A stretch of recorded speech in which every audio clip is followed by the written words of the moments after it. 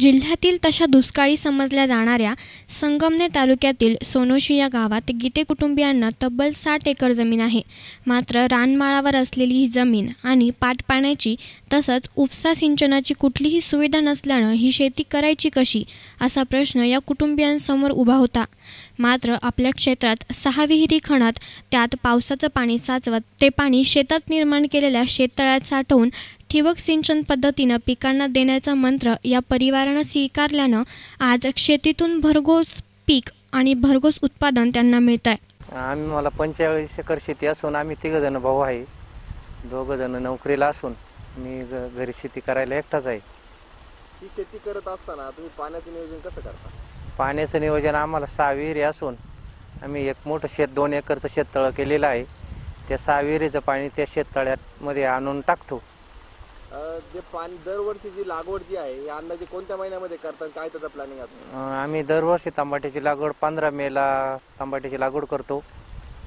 आणि ते शेततळ्यातलं पाणी त्या टमाट्याला वापरतो. आमचं गाव हे स दुष्काळी पट्ट्यातलं असून आम्ही पाण्याचं शेततळ्याचं नियोजन केल्यामुळं आम्हाला हे साध्य झालं. आम्ही दोघं नवरा बायको आहे शेती करतो. तिघ तिघं जण भाऊ आहे. दोन सर्व्हिसला आहे. औंदाच्या वर्षी आम्हाला यश आले. दोन तीन वर्ष आम्ही फेल गेलो. कांद्यात आणि टमाट्यात फार लॉस गेलतो. या वर्षी दिवाळी खुश आहे. दुष्काळी भाग आहे आमचा. या खडकावर पाणी आम्हाला विहिरी खंडून पाणी तळ करून आम्ही जमीन तयार करून न- आम्ही हे तामटं लावली. पण आम्हाला औंदाच्या सालामध्ये चांगलं साधलं. पैसे झाले थोडेफार. असं झालं आम्हाला. गेल्या वर्षी खूप शेतीमध्ये तोटा आला होता. सोळा लाख रुपये. पण त्यांना काय त्याची जिद्द सोडली नाही. मग चालू वर्षी चांगलं झालं. चाळीस एकर आमटं लायला आहे. मग आता एक कोटी सहा कोटी रुपये झाले. होतील अजून. असे भाव राहिले ते कोण दोन दोन दीडशे रुपयाचे तर. कारभारी गीते या शेतकऱ्याला तीन मुलं आहेत. त्यातील दोन मुलं शिक्षित होऊन चांगल्या हुद्द्यावर बाहेरगावी नोकरी करतात. तर फारसा न शिकलेला भाऊसाहेब ही घरची शेती बघतो. गीते परिवारानं माराणावर असलेल्या साठ एकर जमिनीचं लेव्हलीकरण केल्यानंतर शेतात पिकं घेण्याचं ठरलं. त्यासाठी सहा विहिरी देखील खणल्या गेल्या. दोन एकरात शेततळं बांधण्यात आलं आणि पावसाळ्यात विहिरीचं पाणी वीज पंपानं उपसून ते शेततळ्यात सोडलं जातं. शेततळं भरल्यानंतर त्याचं पाणी पिकांना ठिबक सिंचनाच्या मदतीनं वापरण्यात येतं. या वर्षीच्या पंधरा मे रोजी तीस एकरात टोमॅटोची लागवड देखील गीते परिवारानं केली होती. ऐंशी दिवसातच त्यापासून उत्पादन निघण्यास सुरुवात झाली. त्यामधून दररोज आठशे जाळ्या टोमॅटोही निघतो.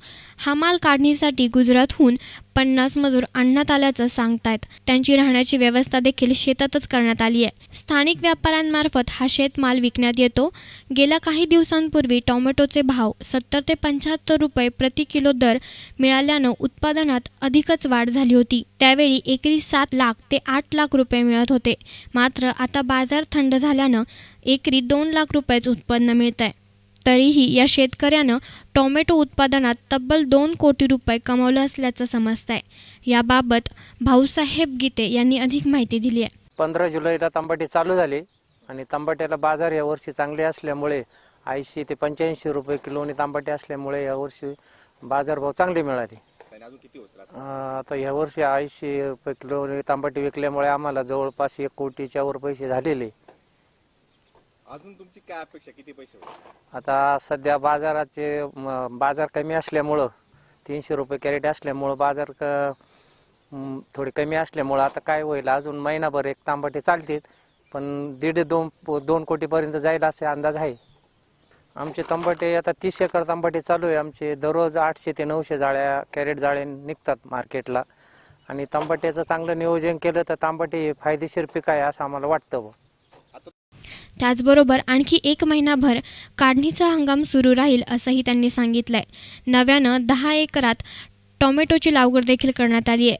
टोमॅटो उत्पादन काढून झाल्यावर चाळीस एकरात कांदा लागवड केली जाईल असंही गीते यांनी सांगितलंय. News reporter Nitin Shelke S nine media Sangamner.